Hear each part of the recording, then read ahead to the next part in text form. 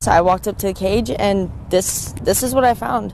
Amanda Brashears was going to feed her five hens and rooster this morning when she discovered them all lifeless, practically in the same position with no signs of a predator entering their enclosure. I'm beyond upset and quite panicked because this they they may be just chickens but they're family. Brashear says her chickens were alive and well yesterday. She believes the smell following the detonation of the train carrying chemicals that derailed in East Palestine is to blame for her bird's sudden death.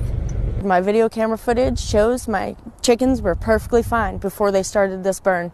And as soon as they started the burn, my chickens slowed down and they died. If it can do this to chickens in one night, imagine what it's going to do to us in 20 years.